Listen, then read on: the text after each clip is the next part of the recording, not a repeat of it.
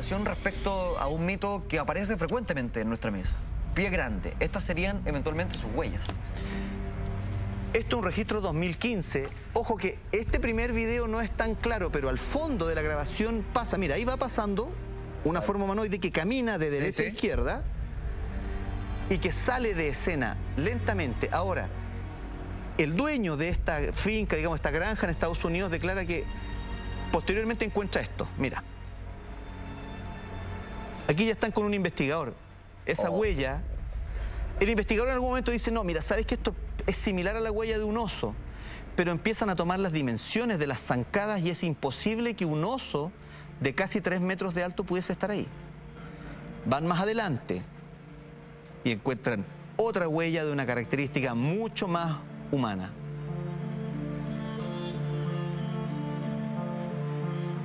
Ahí están claritos los dedos. Esto también es un registro 2015, ¿ah?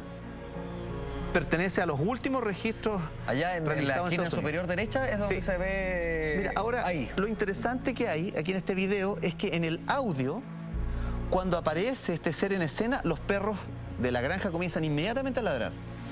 ¿Y por qué estaba la cámara dispuesta de esa manera? Mira, esto sucede en Maine. Maine es, digamos que está muy al norte en Estados Unidos, casi conectado con Canadá. Lo separa un lago, de hecho, de Canadá. Y es un lugar constante de avistamientos de estos seres, de estos seres grandes, eh, se- semi-humanoides, digamos, que le llaman pie grande o Sasquatch. Él ya había visto este ser con anterioridad y había estado a punto de dispararle, porque lo había visto muy cerca de, de su granja. Sin embargo, él dice, no, voy a dejar la cámara a ver si es que puedo captar algo. ¿Para qué le voy a disparar? Vamos con un siguiente video. Eh, este es un duende.